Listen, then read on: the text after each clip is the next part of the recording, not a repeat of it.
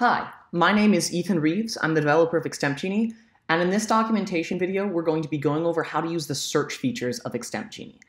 Now, search is the absolute core of ExtempGenie. It's how you access the autofile database of tens of thousands of articles, and it's where you're going to pull most of the articles that you use in the round. So let's go over how to access it. So right here, I'm on the ExtempGenie homepage. I've just opened up ExtempGenie.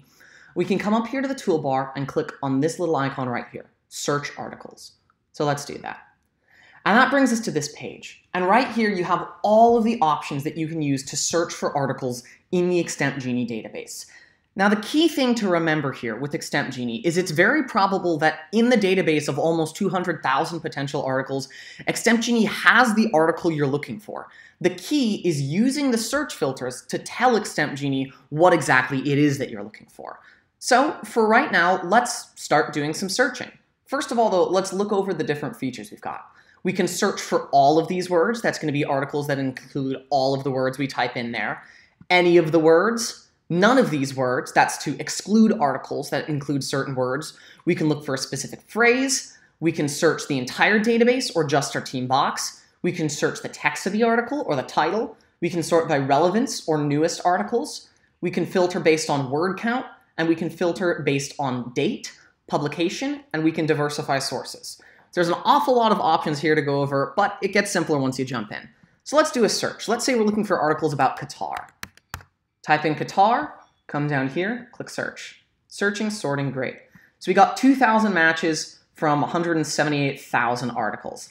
So let's look at this. Scroll down, here we have a bunch of excellent, relevant, recent results.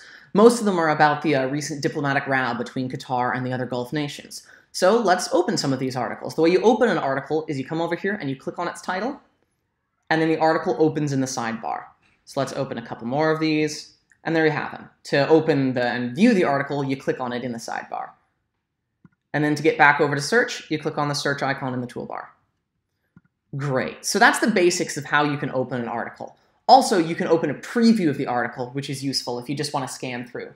You can also, the article that is selected has this uh, gray highlight over it, and you can hit the key P on your keyboard if you want to toggle a preview.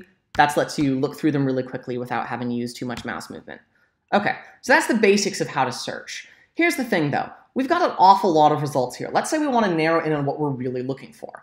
Well, it turns out that the entire Qatar diplomatic row issue happened only within the past week or so. So let's tell ExtempGenie we're just looking for articles within the past week. So we click on articles from start date. And let's select June 1st. That's going to be just articles older than June 1st. Click close, click search. Now we're down to a 1,000 results. This is great. This is narrowing in on exactly the type of articles we want. If you look here, though, at the publications, they're not very diverse. We've got BBC, Al Jazeera, BBC, CNN, BBC, CNN, CNN, Al Jazeera, CNN, Associated Press. What if we want to look at some of the other 49 sources that ExtempGenie has to offer? Well, there's a way to do that. Oftentimes when you're giving a speech, you want to just get a wide diversity of sources. So usually when you input a search into ExtempGenie, it's going to give you the most relevant results. However, if you click this checkbox right here, rather than giving you the most relevant results overall, it's going to give you the most relevant results from each source individually and not repeat a source until every source has presented their best article matching your search criteria. So let's click search again. Great. If you look at this, we've got a much, much, much more diverse pool of articles. BBC, Al Jazeera, CNN, Jerusalem Post, Fox, The Atlantic Council, Council, Christian Science Monitor, Washington Post, All Africa, the Rand Corporation, The Atlantic, The Guardian, Conversation, The Economist, The Diplomat, the Carnegie Mellon Institute for International Peace. We have an awful lot of really excellent articles from a wide, diverse variety of sources. However, we can get even more specific. So let's say that we just want to look for articles from a specific publication. We can do that with select publications. We click on this button right here. We got a list of all the publications that are available to select from. So let's say we just want to look for articles from, let's say, The Economist. We can click Toggle All, and then let's search up here for Economist. There we go. Now we've got just The Economist enabled. We can click Apply. Great. And we have two articles from The Economist within the past week about Qatar. Perfect. Um, let's disable this. So toggle all, back to all the sources. Let's run that search again. Great. The last search option, which I think is really useful and undervalued, is the word length filter. So that's right here. With this, you can select a minimum word length for articles. Oftentimes in extemporaneous, it's a problem where you'll have a bunch of small little news blurb articles. What you really want is the deep analysis articles. And you can get those by using the word count filter. Because articles that are over a thousand words are probably going to be more in depth on the topic. So let's filter down to over a thousand words and click search again. Perfect. Now we've just got 500 matches.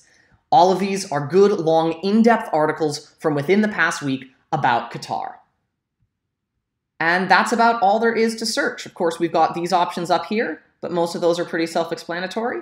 And once again, the key thing with Extemp Genie searches is tell Extemp Genie what you're looking for. If you want more recent articles, apply a date filter. If you want longer articles, use the word count filter. If you want more diverse sources, click diversify sources. If you want a specific publication, just enable that specific publication.